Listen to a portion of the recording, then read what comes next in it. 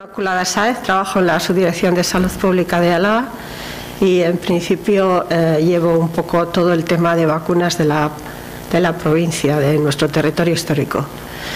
Entonces, antes de empezar la charla, eh, yo quisiera reivindicar un poco la figura de esta mujer, que es Isabel Zendal, que fue la primera, eh, la primera persona que hizo un voluntariado internacional y fue la primera mujer que eh, eh, realizó cuidados a, personas en este, en este viaje. Sabéis que es la, si no conocéis la historia, en la, expedición Balmis, que se llevó la vacuna de viruela desde Europa a América, se hizo a través de 22 niños expósitos de, que estaban eh, en La Coruña y ella era la mujer que cuidaba de ellos en la casa de expósitos. Entonces, eh, con este pequeño homenaje a ella, pues vamos a empezar. Pues si vamos a hablar de vacunas, primero vamos a, ver qué, es una vacuna. Entonces, eh, la definición más formal es que es una preparación biológica que se inocula a un individuo para provocar deliberadamente la estimulación del sistema inmunitario y que eh, su cuerpo desarrolle defensas y los mecanismos eh, para que eh, en el momento en que realmente se enfrente con la verdadera enfermedad pueda protegerse frente a ella sin necesidad de tener que pasar la enfermedad. Entonces, muchos recordaréis, no ya de cuando erais bebés, pero sí quizá estando en la escuela, imágenes como la que estáis viendo eh, y llegara el médico o la, o la enfermera, donde hubiera suerte que hubiera enfermera, eh, entraba en el colegio y a saco vacunaban. O, por ejemplo, ponernos a la fila del azucarillo para la vacuna de polio.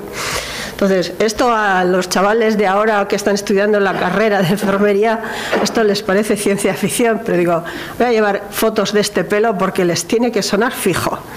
¿eh? Entonces, eh, ¿en qué consiste la vacunación? La vacunación es un método sencillo y eficaz en la que conseguimos, eh, eh, para tener un medio de protección frente a las enfermedades, sobre todo enfermedades infecciosas, porque fue sobre todo con, las enfermedades infecciosas por lo que se empezó a trabajar con las vacunas.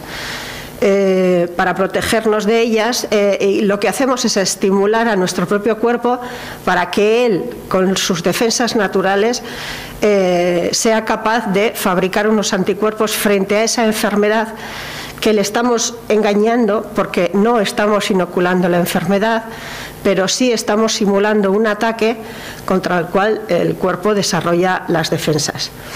Es importante que, eh, tengamos eh, claro que las vacunas eh, no provocan la enfermedad, pero sí provocan infección. ¿Qué significa? la gente a veces confunde que se ha infectado eh, eso ya significa que está enfermo. No, la infección significa que se ha tenido contacto con la enfermedad. La enfermedad, o bien por eh, vía nasal, o, bien por vía por, los alimentos, o por eh, determinadas relaciones entre las personas, se produce un encuentro, se produce un conocimiento de que de ese germen con el cuerpo. Eso se llama infección lo conoce, tu cuerpo empieza a trabajar, a defenderse, pero no está enfermo. ¿De acuerdo?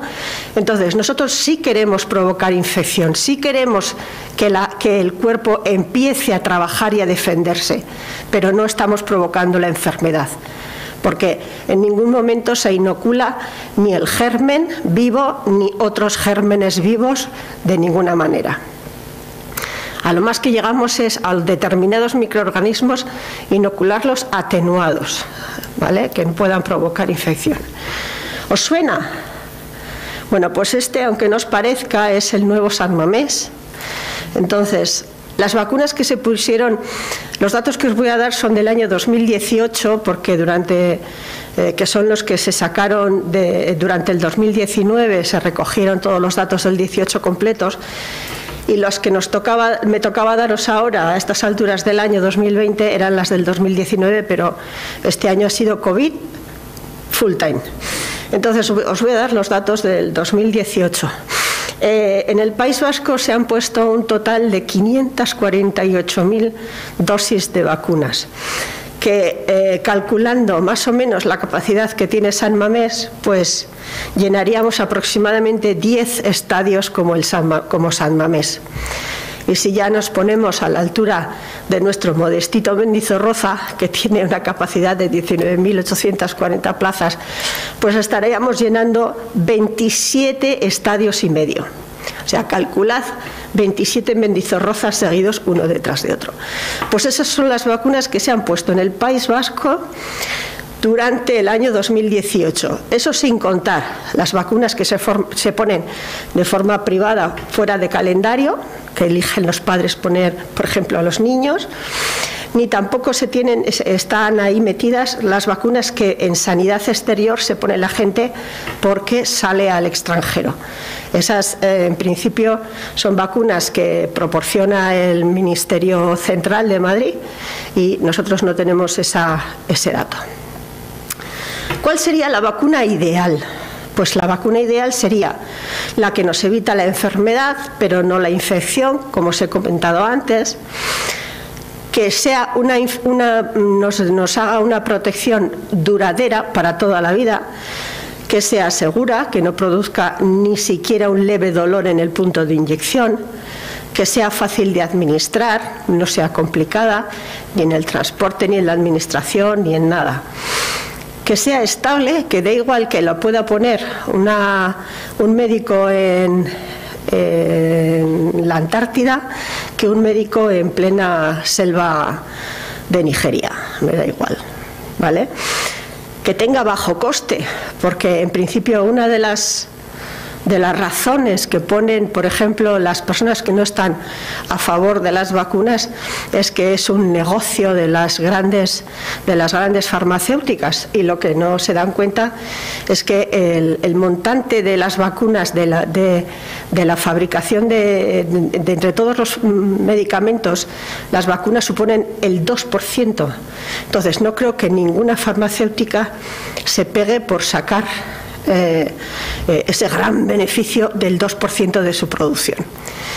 Eh, y por último, que, produzca una, inmunidad de grupo. ¿A qué se le llama inmunidad de grupo? La habréis oído como inmunidad de grupo, inmunidad comunitaria o incluso inmunidad de rebaño.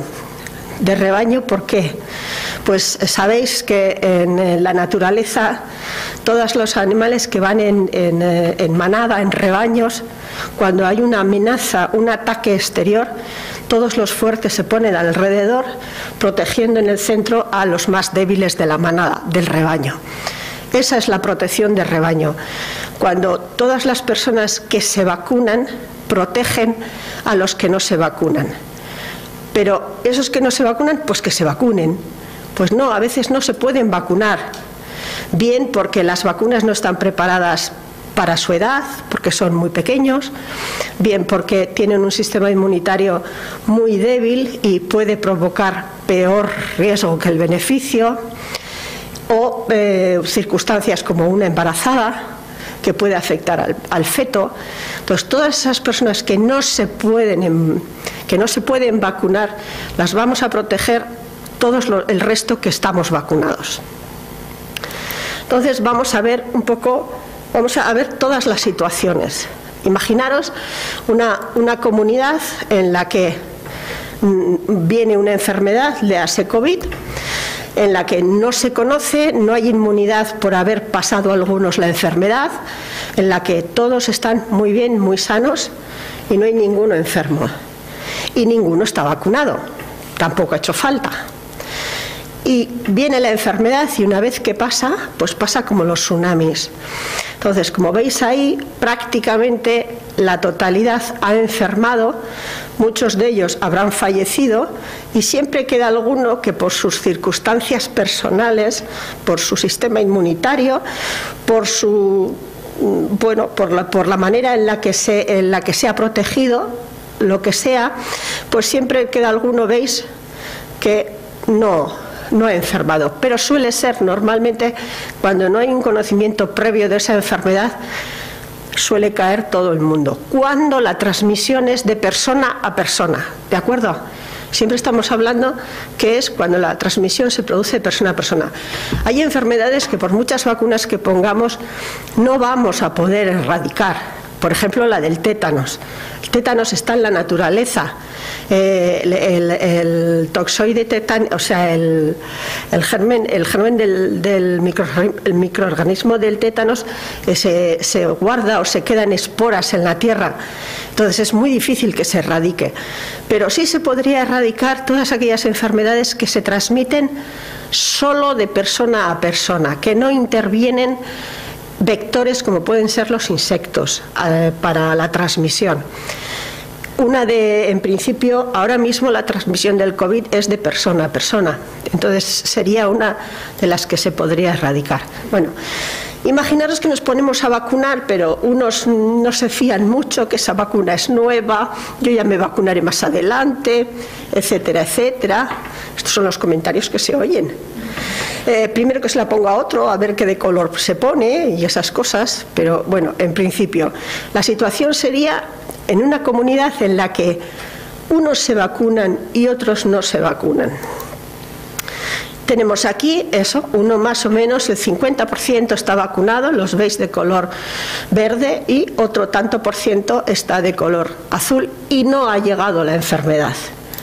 Y cuando pasa la enfermedad ocurre esto que hombre, se contagian bastante menos que cuando no que en la situación anterior que se había puesto, pero se siguen contagiando muchos. Hay muchos rojos por ahí, ¿vale? Aunque empieza a verse algo de lo de la inmunidad de grupo. ¿Veis? Todos los que están alrededor de él le han protegido. Todos los que están alrededor de él le han protegido. Entonces, la tercera situación es cuando la población está muy vacunada. Entonces, esta es la situación.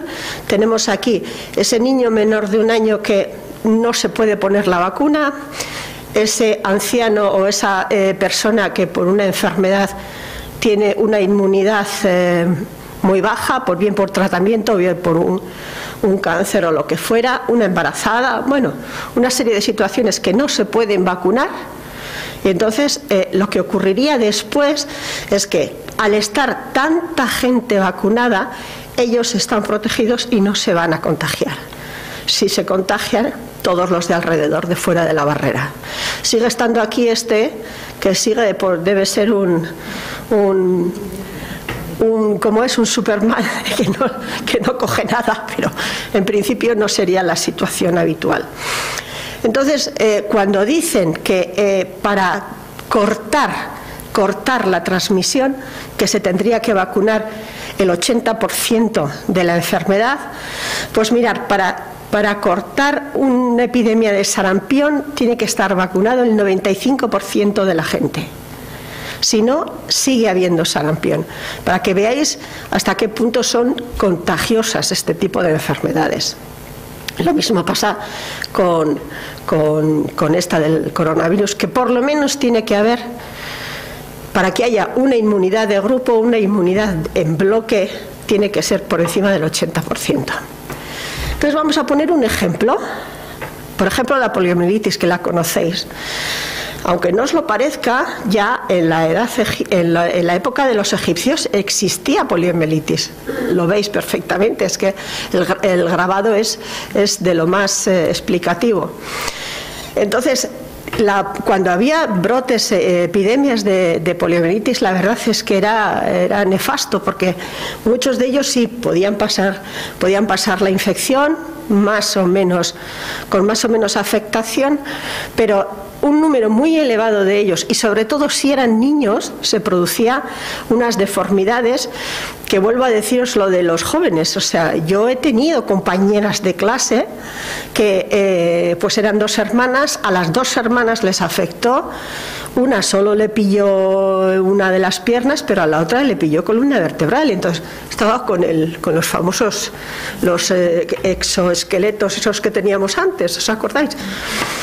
Entonces, eh, eso es muy duro en una familia y más cuando mueren varios. Y si no, cuando la parálisis eh, afecta a los músculos pulmonares, hasta primeros, se dice pronto, hasta primeros del siglo XX no había remedio. Hasta primeros del siglo XX no había remedio.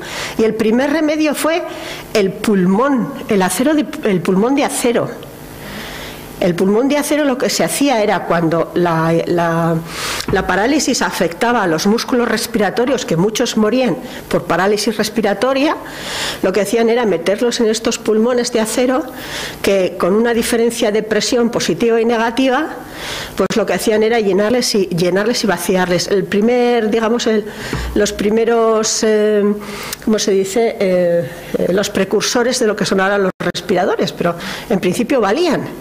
¿Eh? No, la persona era consciente, inhalaba, pero no funcionaba su, musculatura.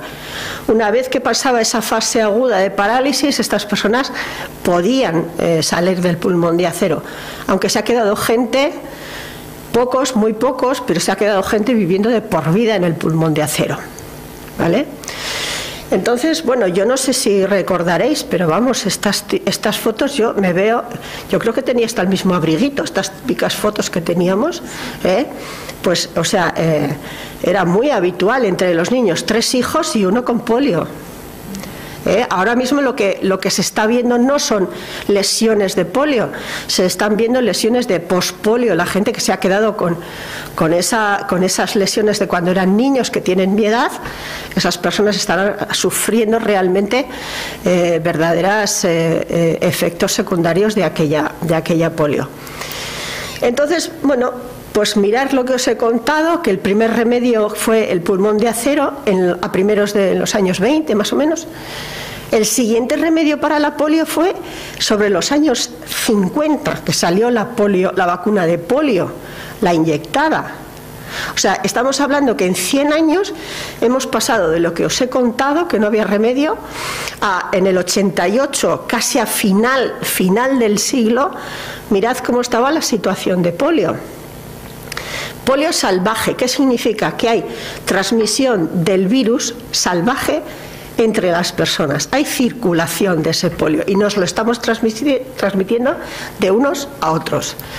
Diez años después, el avance es enorme porque la vacunación aumentó una barbaridad y vamos pasando, vamos pasando, vamos pasando. Entonces, Ahora, desde el 2012, los núcleos que se quedaron con polio eran sitios donde había enfrentamientos bélicos.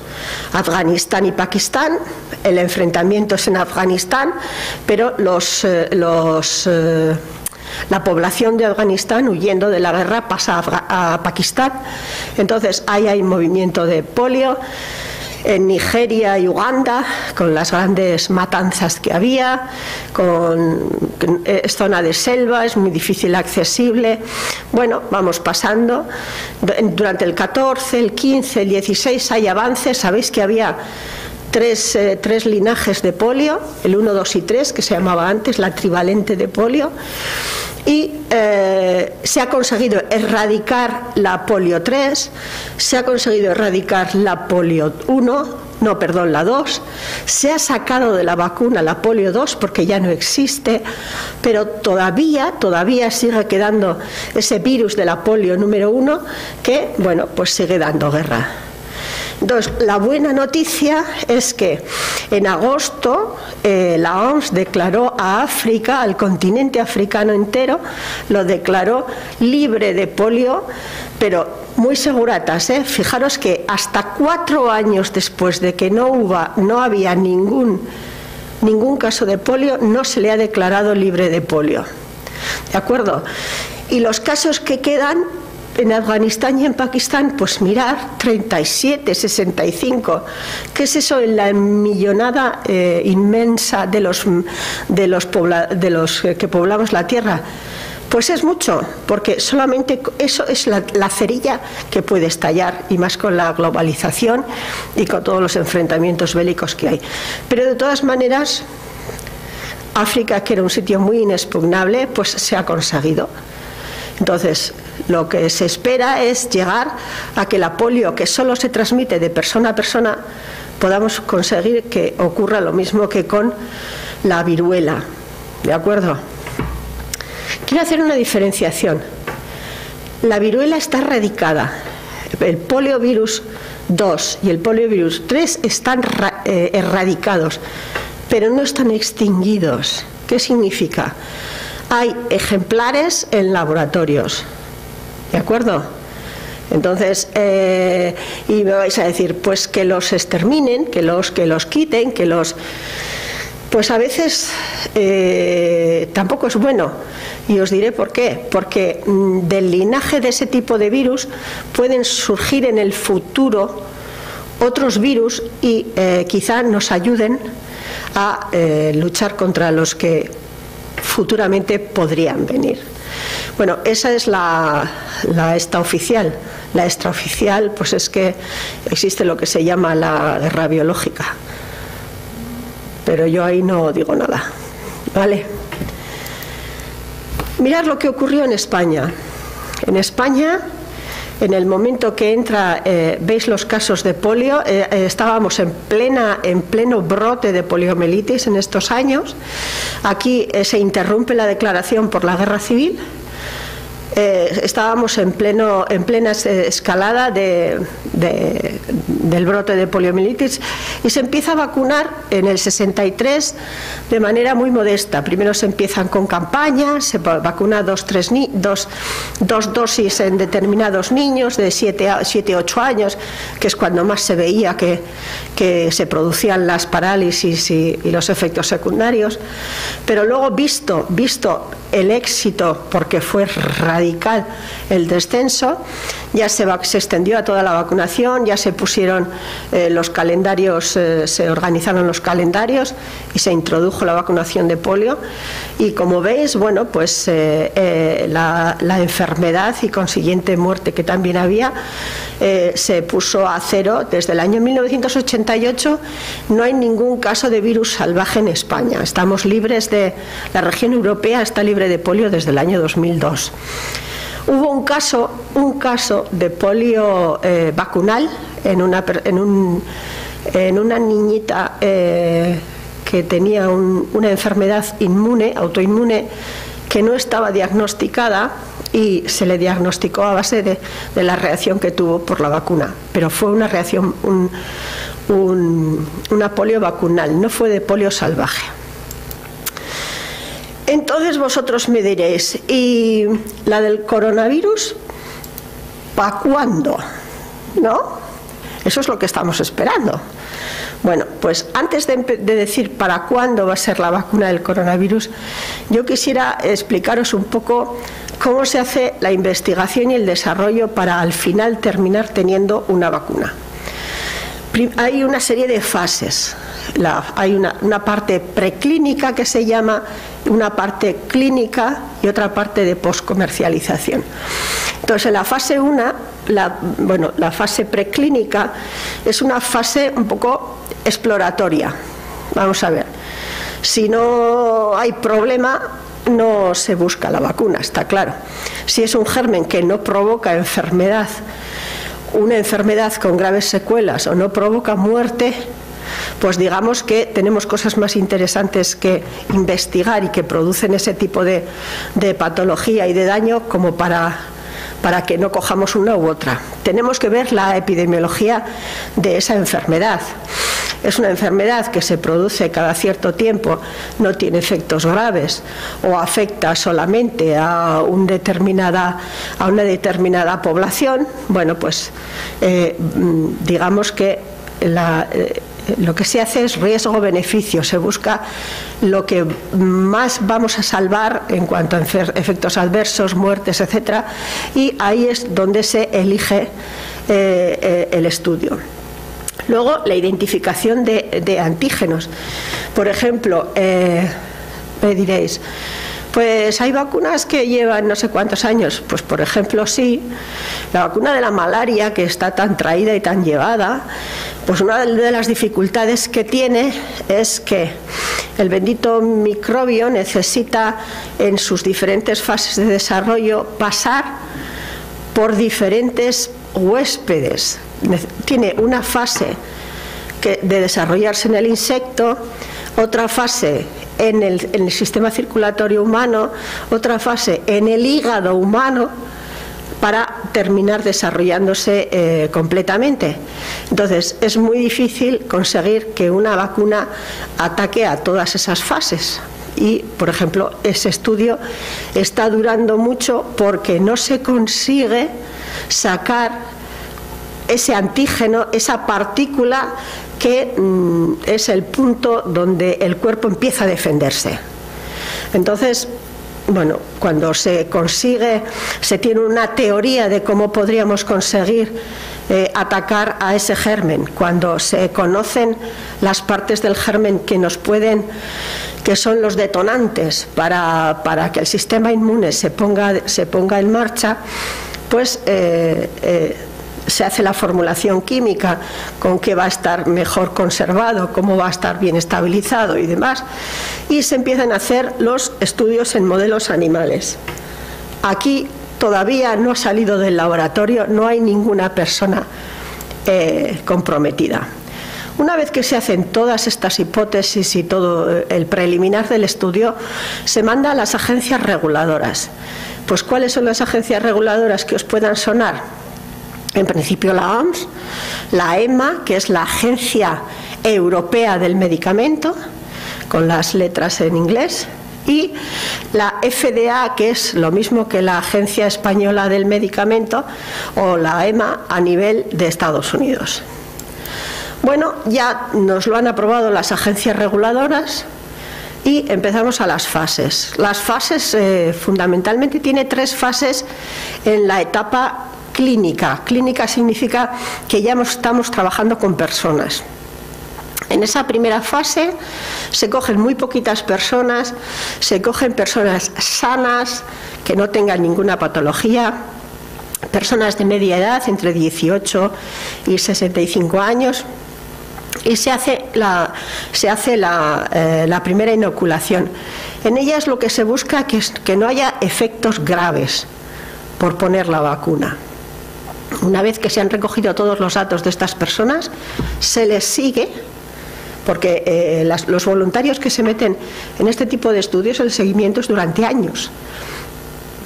Entonces se pasa a la segunda fase.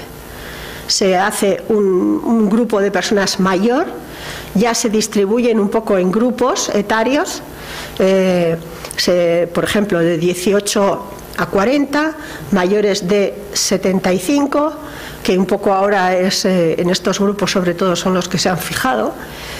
Y aquí empiezan a aparecer los grupos control. ¿Qué significa? Que si tienen 300, 300 eh, voluntarios, bueno, 300 y 300, a 300 les van a poner la vacuna experimental y a 300 le van a poner un placebo, ¿eh? que puede ser, por ejemplo, una vacuna de gripe. Ya está. Entonces, una vez que hacen la comparativa de lo que va ocurriendo en los dos grupos, y aquí ya se buscan eh, a catalogar qué, efectos adversos les dan, cuántos, qué cantidad de personas tienen fiebre, qué cantidad de personas notifica que ha tenido dolor de cabeza o que ha tenido no sé qué, todas esas cosas.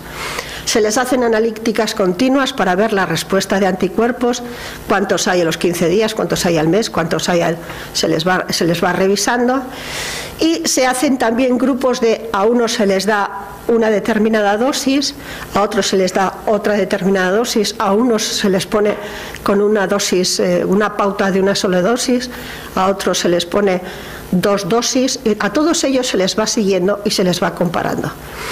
Y luego está por último la fase 3, y en esa fase 3 son miles las personas a las que se vacunan.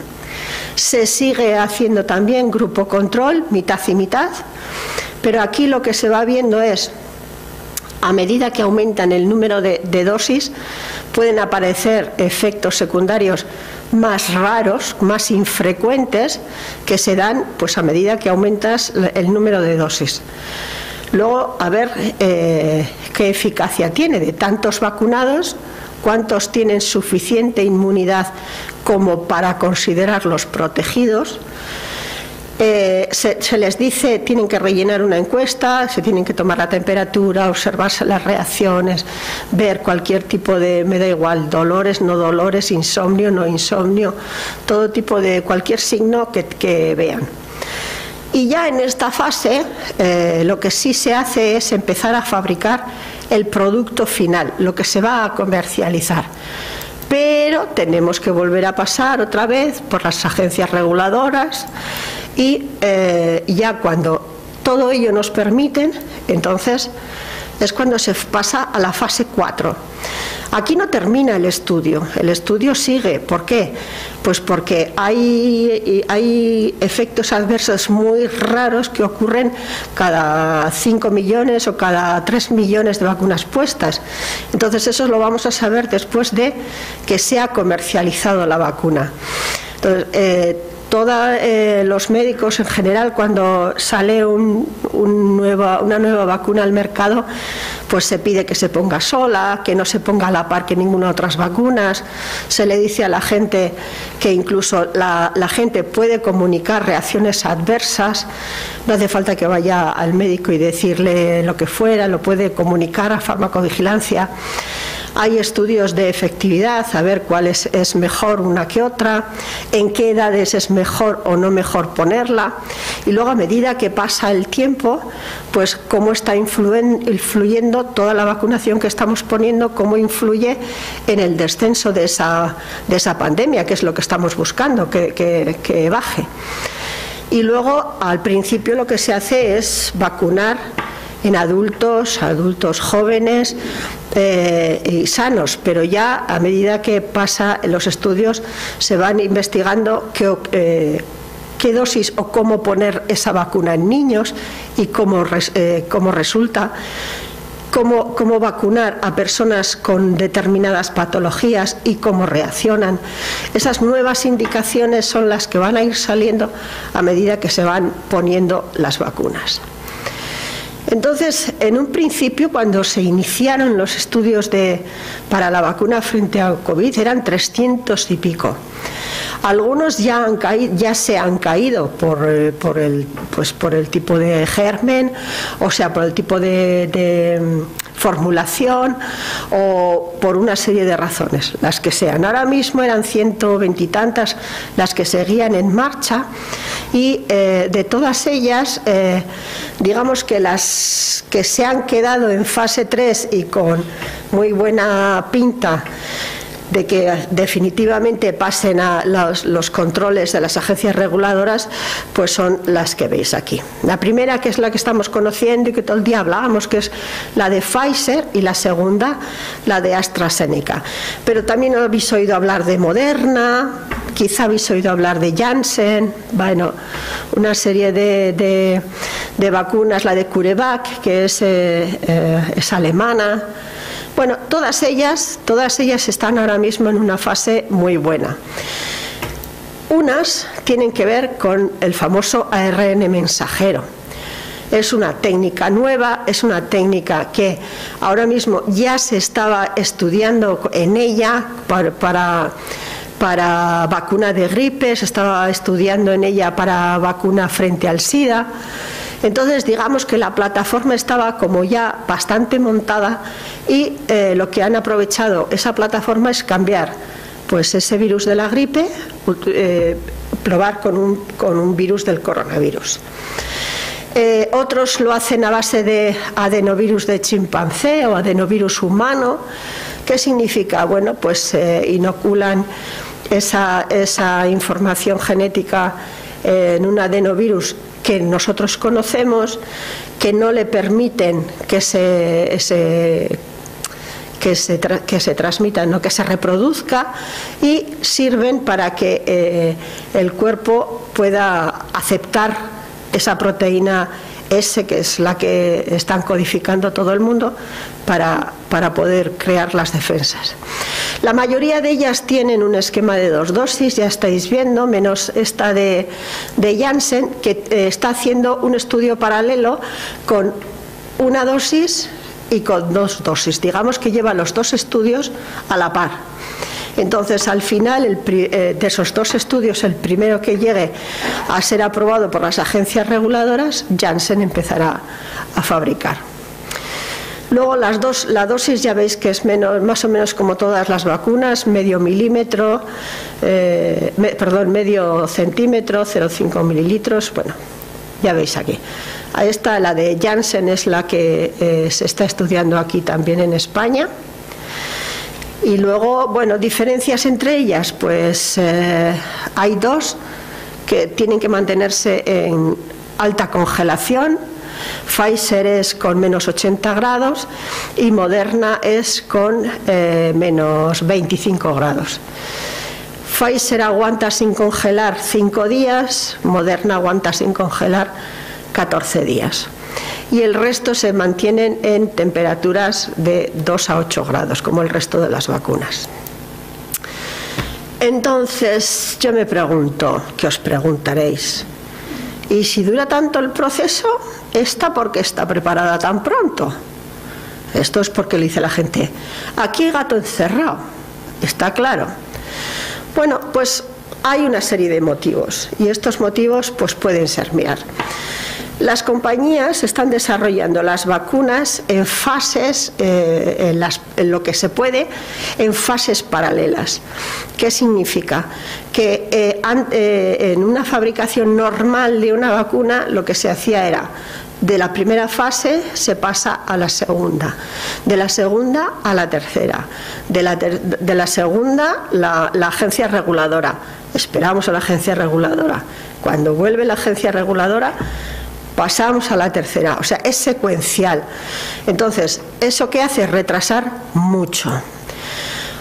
Otra cosa importante es que eh, una vez que, las, eh, que han visto que las vacunas están funcionando, aunque sea en fase 2 y en fase 3, eh, lo que están haciendo es empezar a fabricar ya el producto. Pfizer ahora mismo tiene vacuna fabricada.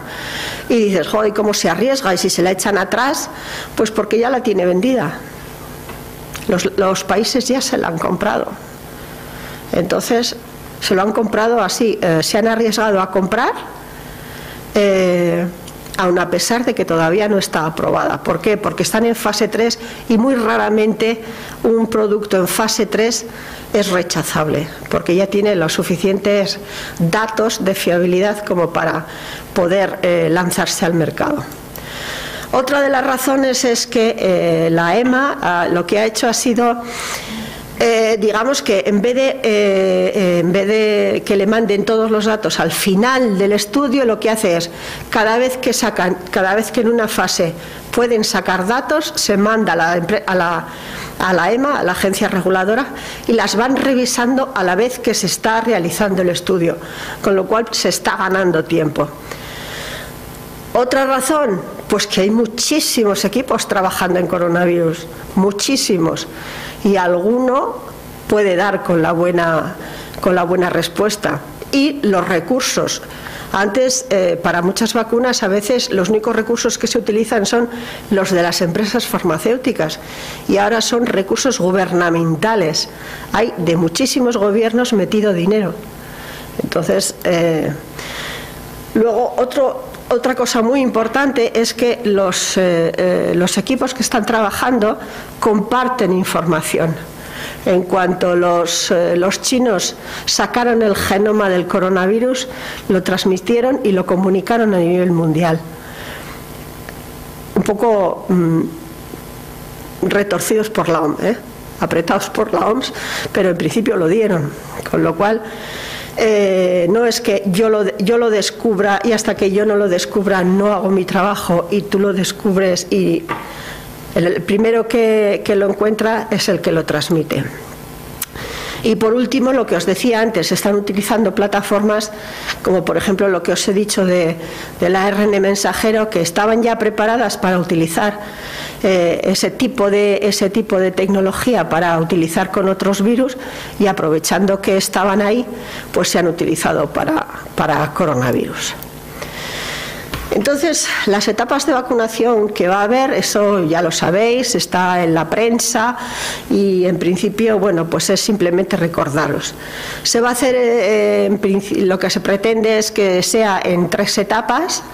En la primera etapa, con las primeras vacunas que vengan, eh, se va a vacunar pues a los residentes y personal sanitario, tanto de hospitales como del sistema sociosanitario que residencias hablando de mayores y personas con discapacidad y el personal sanitario que está en primera línea, otro personal sanitario sociosanitario y personas con discapacidad que están no están institucionalizadas, pero tienen una gran dependencia para realizar eh, sus eh, actividades diarias.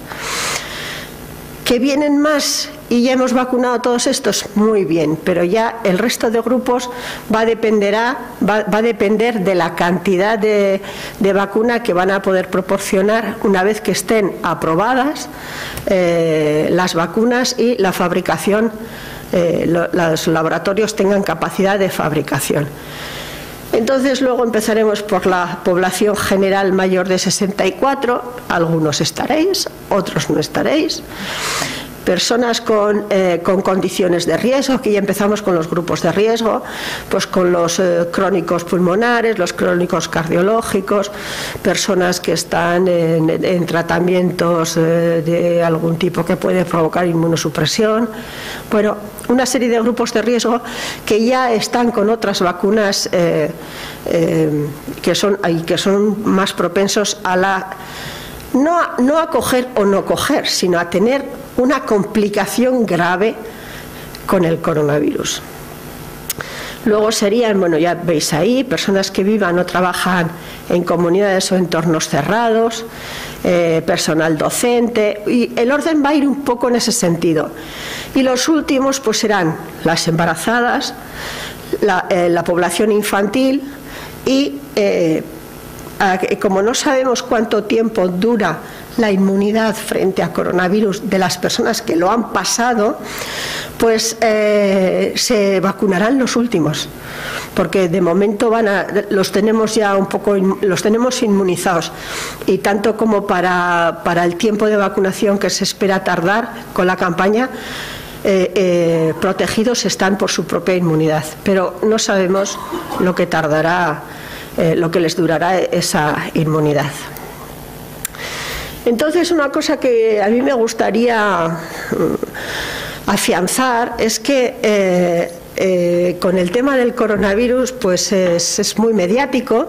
Aquí el que dice la burrada más grande es el que el que ocupa más, más páginas y más portadas. Y a mí me gustaría que si tenéis alguna duda con respecto al coronavirus o a las vacunas o a lo que sea, que siempre vayáis a fuentes eh, fidedignas.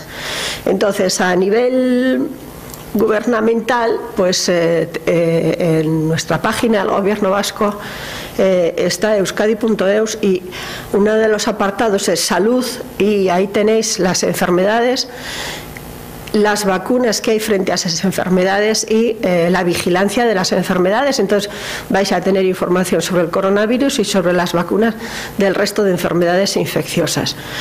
Lo mismo pasa con el Ministerio de Sanidad a nivel central. Entonces, bueno, si decís, bueno, es que estos van a decirlo, van a poner lo que ellos quieren porque nos engañan, que dice mucha gente, porque nos engañan. Bueno, pues a nivel, a nivel internacional la OMS hizo una revisión de todas las páginas web que daban información sobre vacunas y eh, catalogó todas, las, eh, todas esas páginas y a una, algunas de ellas les ha otorgado eh, lo que se llama eh, que son miembros de la red de seguridad vacunal. Entonces, cuando entréis en una página web, siempre vais a encontrar, si esa página ha sido catalogada como información segura y fiable, eh, la, eh, la OMS le habrá otorgado este signo. ¿Vale? Entonces, todas aquellas páginas que visitéis con este logo es porque están catalogadas como muy buenas páginas de información sobre vacunas, cualquier tipo de información que queráis obtener. Bueno, pues eh, aquí tenéis algunas. Dentro de la OMS suele poner así, Vaccines Net Y en España, por ejemplo, una de ellas es la, agencia, la Asociación Española de Pediatría, la Asociación de Vacunología. Me refiero a que eh, no vayáis al, al, no sé, al Norte Express, salud, por ejemplo, porque aunque ellos hayan cogido información de páginas, al final los criterios, lo que cada uno va exponiendo, a veces eh, pues se mete bastante la pata. Entonces, bueno, pues gracias por vuestra atención. Os deseo un buen paso del 20 al 21 y que a ver si por fin nos quitamos esta, esta amiga que no quiero ser, no quiero ser agorera, pero vamos que como dos añitos la vamos a tener de compañía. ¿eh?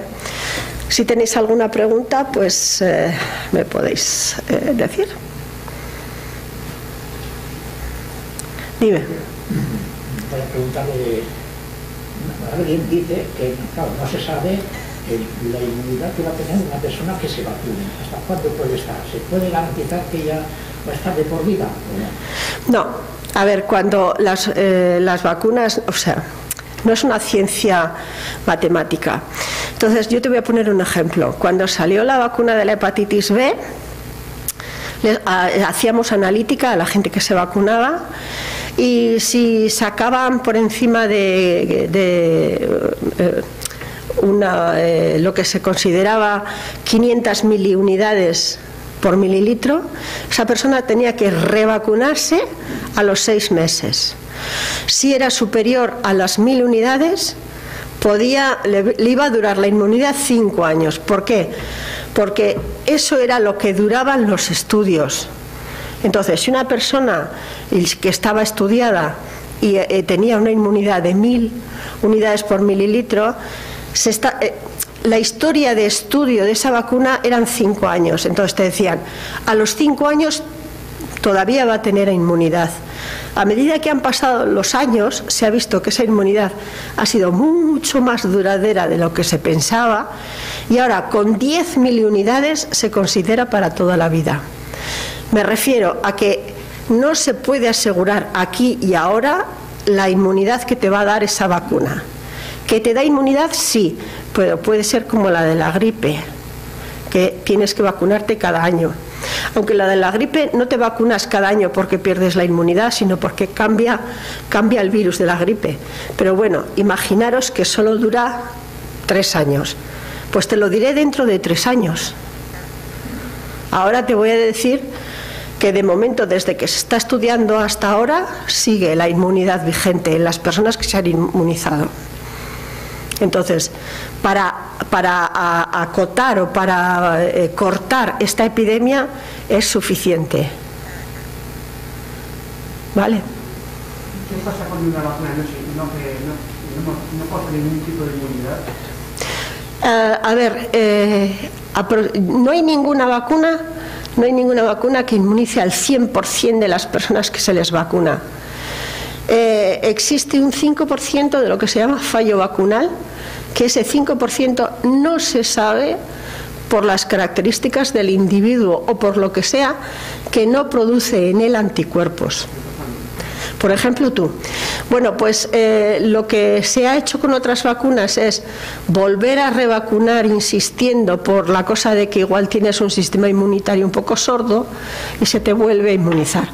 Si a la segunda vez que se te vacuna sigues sin responder, se te considera un no respondedor y vas a tener que depender de la inmunidad de grupo.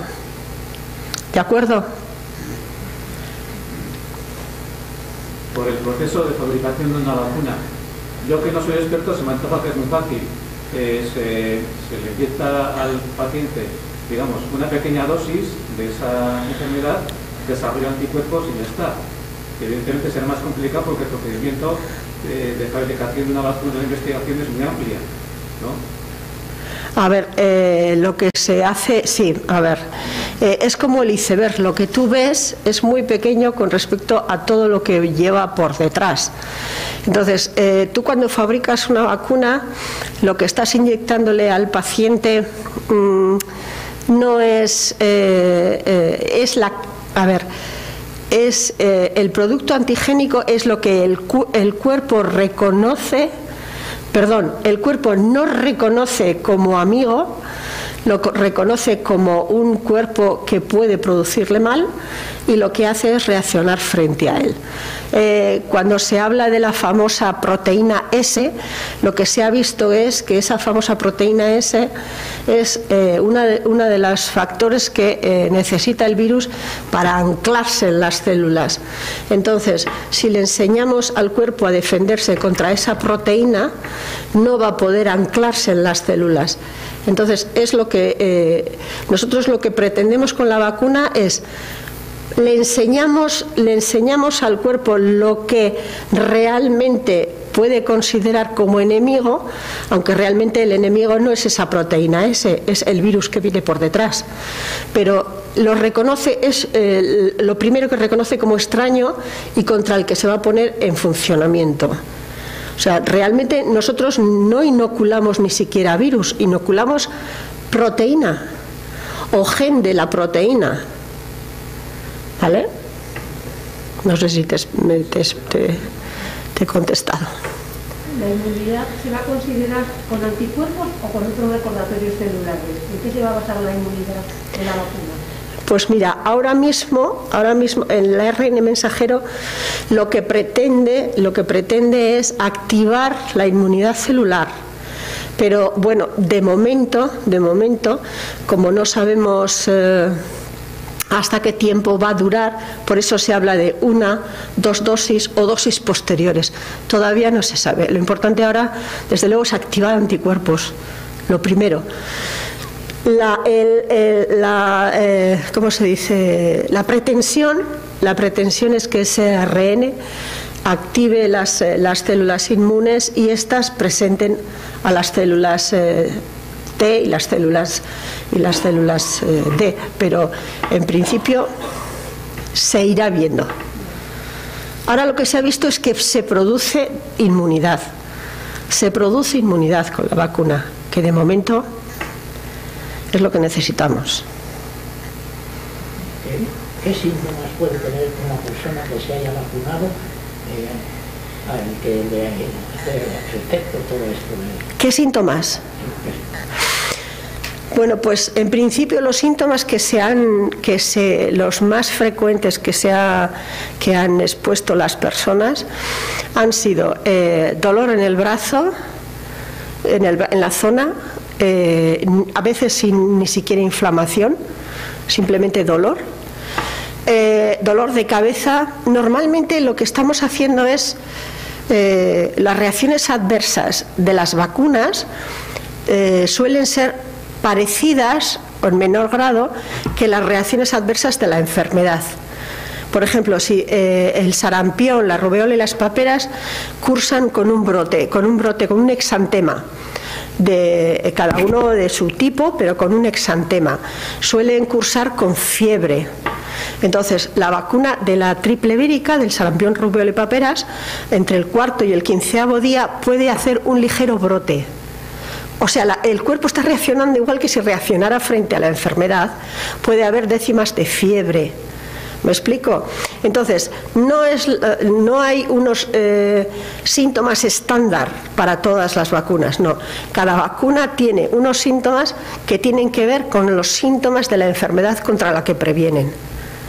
Entonces, en esta está, puede haber dolor en el brazo, que eso es un poco porque es pinchada, ¿eh? Eh, dolor de cabeza, como ocurre con el, con el coronavirus, fatiga, como ocurre con el coronavirus. Esas son las principales que ha habido. ¿Qué? ¿Eh? ¿Qué duración pueden tener esos síntomas? No te oigo. La duración de los síntomas, ¿cuánto puede ser? La duración. No, no, no han hecho mucho, no han hecho hincapié en que sí, que duren mucho, ¿eh? Normalmente suelen durar pocos, eh, primeras 24 o 48 horas, de lo que se va sabiendo, ¿eh? porque claro, eso es lo que va de lo poco que va saliendo. Imagino que todo eso se sabrá una vez que, eh, una vez que ya se apruebe, las, las agencias reguladoras aprueben las vacunas, una de las cosas que están obligadas a presentar es la ficha técnica. Y en la ficha técnica en los diferentes estudios te van a decir, en personas de 18 a 45 años los efectos adversos muy frecuentes son estos, poco frecuentes son estos, eh, a nivel mm, neurológico son estos, a nivel de piel son estos. Todo eso lo tienen que presentar en la, en la agencia reguladora. Entonces, eso es lo que llamamos nosotros ficha técnica de cada vacuna. Y ahí es cuando lo pondrán. ¿Se están haciendo estudios de personas que han pasado el COVID a ver cómo procede? Sí, también. También. Y cómo, cómo van bajando y cómo reaccionan ante la vacuna. Normalmente cuando eh, las vacunas, cuando eh, no es contraproducente poner una persona que haya pasado una enfermedad y se le pone una vacuna, porque muchas veces se dice, ¿ha pasado la varicela? Pues no lo sé porque estaba con la abuela o no estaba con la abuela o yo no me acuerdo, era muy pequeña, muy lo que fuera. Entonces no pasa nada si a esa persona le vacunas de varicela no pasa nada. ¿Por qué? Porque lo que estás haciendo es hacerle un pequeño estímulo para que ese recuerdo de inmunidad que lo tiene medio dormido, le estimulamos y vuelve a estar en, en cantidades muy altas para protegerse. Entonces no hay ningún inconveniente en una persona que no sabe si ha pasado la enfermedad vacunarle. Por eso, entre otras cosas, están puestos los últimos a la hora de vacunar. Primero, porque no sabemos lo que les dura su inmunidad y es mejor vacunarle que no vacunarle, porque pensando que ya está protegido y ya ha pasado la enfermedad, igual resulta que no le dura. Hay enfermedades que dejan eh, inmunidad para toda la vida. La varicela es una, el sarampión es otra. Pero, por ejemplo, una persona que ha pasado tosferina, al cabo de los años puede volver a pasar tosferina porque no se le queda inmunidad. Y quien dice eso dice, por ejemplo, frente a los meningos, los meningococos. Una persona que ha pasado una meningitis por meningococo, hay que vacunarle de otros meningococos, porque y del mismo meningococo también, porque no se le queda inmunidad.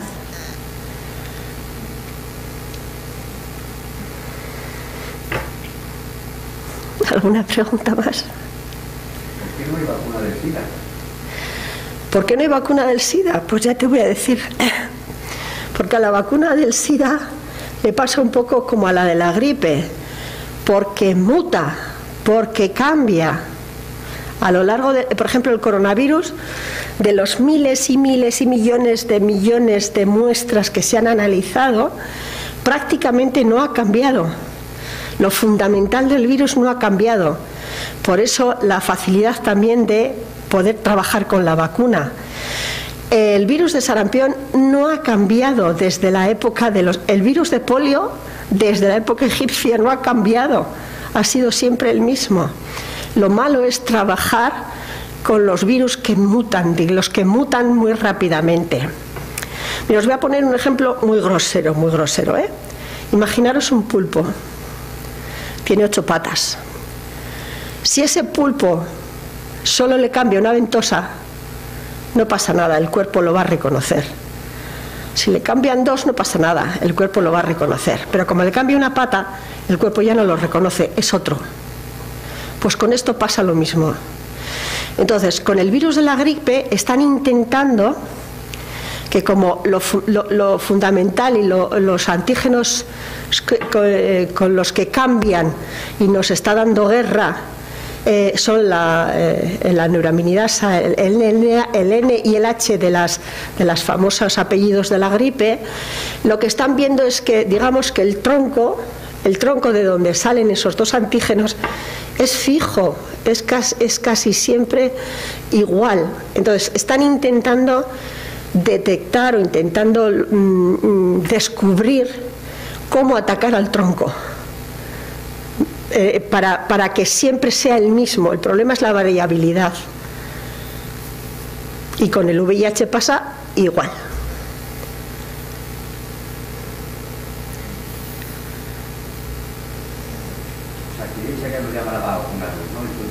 ¿Eh? Sí, sí, sí. Posiblemente, a mí me encantaría que no hubiera que llamarlos. O sea, que de hecho, en principio, lo que tiene que proporcionar es eh, la, eh, la infraestructura para que no haya aglomeraciones ni haya nada para. El orden que has visto de los grupos va a tener unas relaciones. Alguien va a ir antes que otro. Sí, sí, va a ir uno. ¿Quién, quién pone ese orden? ¿Quién pone ese orden? No te preocupes que antes de que lleguen las vacunas ya os van a decir cuáles pueden ir. Sí, sí, pero por ejemplo, a ver, ahora está como muy claro, es gente que está institucionalizada sobre todo y personal que trabaja en ese ámbito, tanto hospitalaria como en residencias como esto. Pero luego ya viene, digamos, población de calle. Entonces, esa población de calle, desde luego que si en Osakidecha no saben que yo soy diabética, no me van a llamar. ¿Me explico? Entonces, eh, a los, a- por ejemplo, a los mayores de 65 ya los tienen catalogados. Esto es un cruce con el DNI y ya está. ¿eh? Pero, pero eh, cuando ya empiezan, empezamos a meternos en grupos de riesgo de menores de 64 años, pues no todos están en Osakidecha, ¿eh?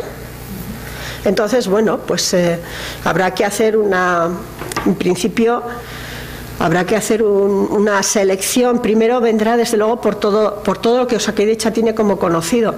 Pero vamos, que si yo soy una persona que me están tratando en la privada como una diabética y los diabéticos se tienen que vacunar, a mí Osakidecha no me va a poner pegas. La vacuna va a ser gratuita y va a estar proporcionada por Ministerio de Comunidades. Entonces es universal. Cuando la vacuna es universal, nadie te puede negar la vacuna, aunque solo la pongan unos, los de Osakidecha.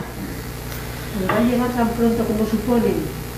¿En febrero o marzo? Mira, yo te digo una cosa. eh, yo soy un poco y todo el ámbito cien- científico, no porque yo sea científica, ¿eh? pero eh, los políticos dicen mucho, hablan mucho. Yo te doy fe de que ahora mismo todas las comunidades se están preparando para, por si acaso, la vacuna llega en enero. Por si acaso la vacuna llega en enero. Pero también te diré que eh, mm, yo creo que de hoy me han comentado, que yo no lo he visto, como que eh, Pfizer se había presentado la documentación en la, en la, en la FDA, en la Agencia Reguladora Norteamericana. Eso es lo último que yo sé. Entonces, si todavía no hay ninguna vacuna aprobada, no hay ninguna. ¿Qué pasa? Que puede, una vez que esté aprobada, desde luego al día siguiente la vacuna está aquí, porque ya la tienen, ya la tienen fabricada, no cuesta, no vamos a esperar más tiempo por la fabricación. Pero claro, tienen fabricada hasta donde llegan, tienen unos sitios de almacenamiento hasta donde llegan. Pero, pues eso, los políticos dicen, los políticos dicen, pero yo te digo que eh, de momento no hay ninguna aprobada. ¿Que nos estamos preparando para por si acaso viene en enero? Sí. Y una pregunta referente a la vacuna de la gripe. Cuando una persona actualmente no tiene síntomas de gripales en, en, en los inviernos, ¿es recomendable que se la toma también esta vacuna? A ver, tener síntomas gripales todos los inviernos puede ser un catarro. ¿Me explico? Diferenciamos ya catarro de... A ver, hay que diferenciar lo que es un... eh, el resto, eh, ahora somos todos coronavirus. El resto de virus eh, invernales siguen pululando. Y hay rinovirus muy, muy, muy fastidiosos, que producen unos síntomas bastante, bastante molestos. Tienen fiebre alta, tienen la congestión nasal, tienen que te- tienes algo de fiebre, tienes, o sea, pueden ser perfectamente confundibles con una gripe. Pero que todos los años tengas síntomas gri- gripales, eso no es muy no es, no es muy concreto. O sea, el que ha pasado una gripe lo sabe. La pregunta era si uno que actualmente en los inviernos no tiene síntomas gripales, no tiene, ¿sería recomendable que se vacune de de, la? Mira, eh, si hubiera vacunas para todo el mundo, yo le recomendaría a todo el mundo que se vacunara. por no exponerse a estar una semana baldado en la cama. Pero el problema es que mm, en gente que no tiene patologías o que tiene pocas patologías, que está más o menos sana, pues pasar una gripe, bueno, pues es duro, es pasar una gripe duro. Pero el problema es que quien hay que vacunar sí o sí es aquellos en que la gripe los desestabiliza de tal manera que los lleva a la UCI o los lleva al cajón. Esos son los que no hay que permitir que no estén vacunados.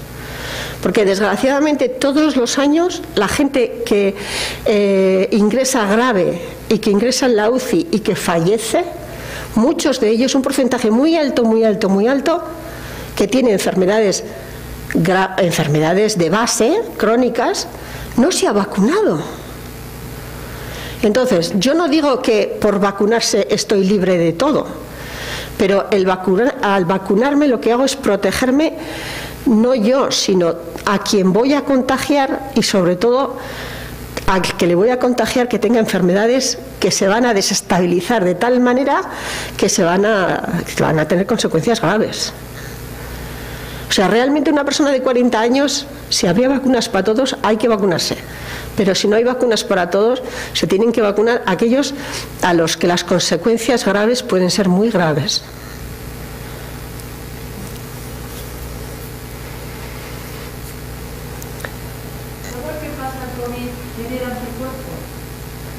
No, no, no, no, se está viendo que no todo el que pasa COVID genera anticuerpos. Y es un poco como lo que le decía de la vacuna, no todo el que se vacuna sí o sí genera anticuerpos. Es una enfermedad nueva, es una enfermedad que hay que seguir estudiando a lo largo de los años. Sí se ha visto que hay gente, bueno, pues que la pasa y que eh, genera tan pocos anticuerpos que justo terminar de pasar la enfermedad y no, lo, y no tiene nada ya. También ha pasado, también ha pasado de gente que pasa la fase aguda, pasan los 14 días, al principio eran 14 días, sigue estando a cero y allá por el 21 o 30 día empieza empieza a, no es que empiece a crear, se empiezan a detectar eh, en las eh, pruebas que se hacen, igual tiene tan bajos, tan bajos que no son detectables, no lo sé. No te oigo nada. un sanitario, por ejemplo, ¿qué ha pasado dicho antes que el que ha pasado el COVID lo dejáis en segunda fila para la vacuna, pero puede ser gente, pues puede ser un sanitario, por ejemplo, que creo que los que Sí, a ver, cuando se habla de sanitario que ha pasado el COVID, se habla de sanitario que tenga una PCR positiva, que se sabe que ha pasado el COVID. Entonces, eh, bueno, pues el porcentaje de gente que hace esa inmunidad poca o tardía, o que, se detecta tarde, eh, tiene que pasar en segundo plano. Eh, está claro que si una persona va a trabajar, un sanitario que vaya a trabajar, sobre todo en las plantas donde están los casos COVID, se les va a hacer serología. Si esa persona no tiene serología positiva, posiblemente la tendrán que pasar a otro sitio. Pero ahora mismo, tal y como está la, situación, una persona que ha pasado COVID se considera que ha pasado COVID. Se pasará al final.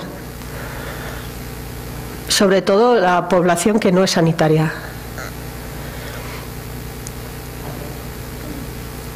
¿No hay sistemas naturales para crear inmunidad? Que yo sepa, no que yo sepa no. A ver, lo que está claro es que eh, la fabricación de la fabricación de anticuerpos siempre siempre es en base a, la exposición a un, a un peligro, a un antígeno.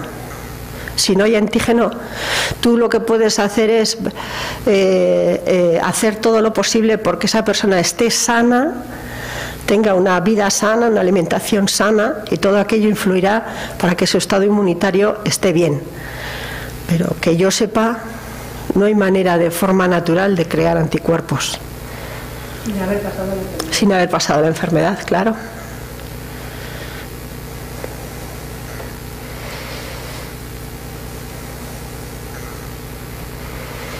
Pues. Ah. la obligatoriedad de la vacuna. ¿Obligatoriedad de vacunarse? Pues mira, yo en determinadas circunstancias sí obligaría, te lo digo así de claro. Porque, por ejemplo, las personas que no están a favor de las vacunas, por ejemplo, esas personas lo que están haciendo es, eh, digamos que, aprovecharse de la inmunidad rebaño. Entonces, eh, yo sí me vacuno y estoy encantada de producir, de ser partícipe de esa inmunidad que protege a los que no pueden vacunarse, pero no a los que no quieren vacunarse. Es así de duro. Es así de duro. Entonces, digamos que son un poco mm, vampiros o chupópteros de mi salud. En circunstancias en las que, por ejemplo, tú no te quieres vacunar del tétanos, allá tú y tu riesgo. Pero que no te quieras vacunar de sarampión cuando me vas a poder eh, eh, transmitir a mí el sarampión y yo me puedo morir, pues entonces ya ahí me empieza a no gustar. Por supuesto que está tu libertad, pero también está la mía. Yo en determinadas circunstancias, desde luego, eh, un personal sanitario que vaya a trabajar en, en cualquier área, en cualquier área, debería estar obligado en contrato a estar vacunado. Primero porque por su, por su propia por su propia seguridad y en segundo lugar porque todos somos humanos y podemos transmitir por mucho que trabajemos en, en unidades con protección. Y trabajamos con pacientes, no trabajamos con pinzas de madera.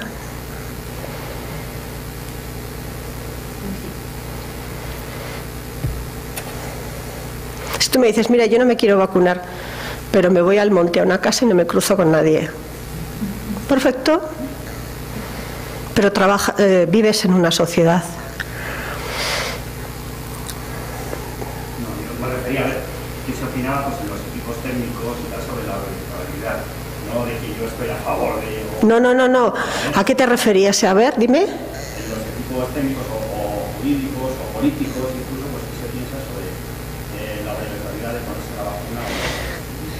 Mira, eh, la, eh, la experiencia dice que todo lo que se obliga tiene muy malos, eh, muy malos resultados.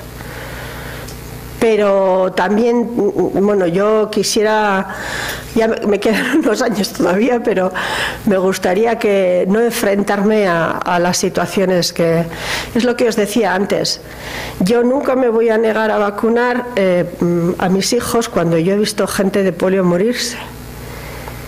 Entonces, mm, la gente que no ha visto ese peligro, la gente que no ha visto eh, ese, ese tipo de circunstancias, no es consciente de, de que está viviendo de, de- de lo que ha sufrido mucha gente anteriormente. No son conscientes del peligro. Entonces, bueno, pues si tú eh, en la época en que estaba eh, la difteria o el sarampión tienes un hijo, ¿a ti qué te importa que la vacuna produzca fiebre alta? Te da igual. Lo que quieres es que tu hijo no se muera de sarampión. Entonces, bueno, pues hay cosas que, eh, digamos que los criterios de peligro y los criterios de, seguridad cambian completamente. Ahora mismo hay gente que no está de acuerdo con las vacunas porque cree, porque cree, bueno, desde paranoias de, que nos están eh, introduciendo de todo, hasta que es una manera de control.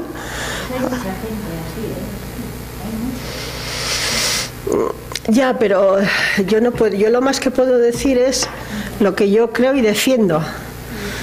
Pero el problema es que eh, no ha habido no ha habido mediáticamente un buen cribado de información. Todo vale, todo corre en las redes, no hay entonces bueno, pues es una pena. Pero Yo creo que hay demasiada información, pero muy poco científica. sí, hay demasiado titular. Es lo que os decía al principio.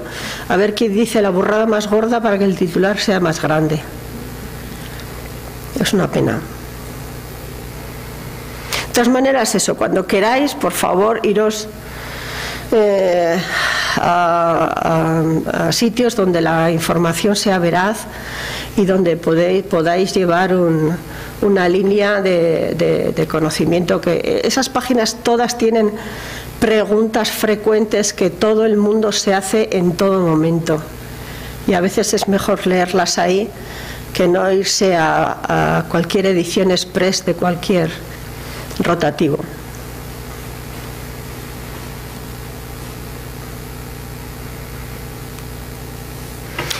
Pues si no tenéis ninguna pregunta más.